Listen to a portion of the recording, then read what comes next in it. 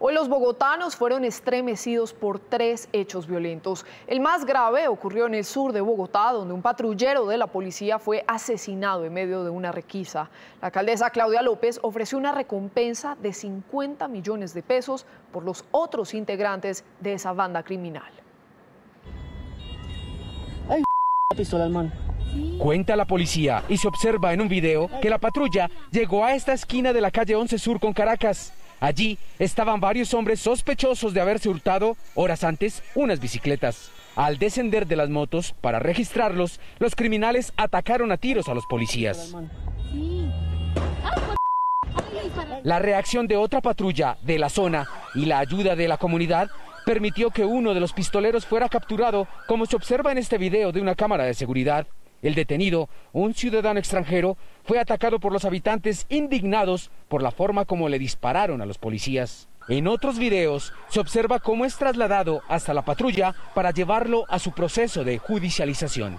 Al término de un consejo de seguridad, el secretario de Seguridad de Bogotá, Aníbal Fernández de Soto, lamentó el homicidio del patrullero Humberto Sabogal y anunció el aumento de la recompensa por los otros integrantes de la banda criminal. Tenemos una persona capturada por esa situación y eh, la alcaldesa mayor ha tomado la decisión de incrementar la recompensa hasta 50 millones de pesos por información que nos permite identificar a los otros individuos responsables de estos hechos en la localidad de Antonio Nariño.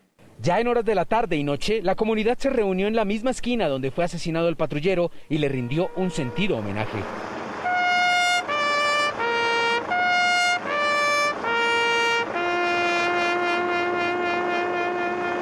Vecinos, amigos y compañeros del uniformado honraron su memoria con una calle de honor donde sus más cercanas amigas le entregaron la gorra a la familia. El patrullero Sabogal, quien este 24 de agosto cumpliría 42 años de edad, llevaba más de 15 años en la policía, donde alcanzó más de 50 felicitaciones y 6 condecoraciones, especialmente por el trabajo y defensa de la comunidad. Trabajamos juntos, sí, señor. ¿Qué recuerdas de él? Muy alegre, muy alegre, sí, señor. Con la comunidad sí se puede dar cuenta cómo está la ciudadanía acá acompañándonos en este momento. Con el homenaje, los amigos y vecinos aseguran quieren acompañar y apoyar a la esposa, a los dos hijos de 8 y 10 años que deja el patrullero Sabogal.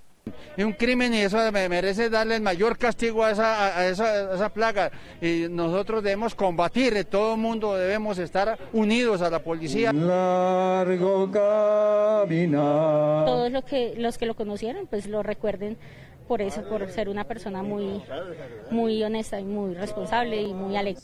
Adiós, patrullero Humberto Sabogal. del Señor.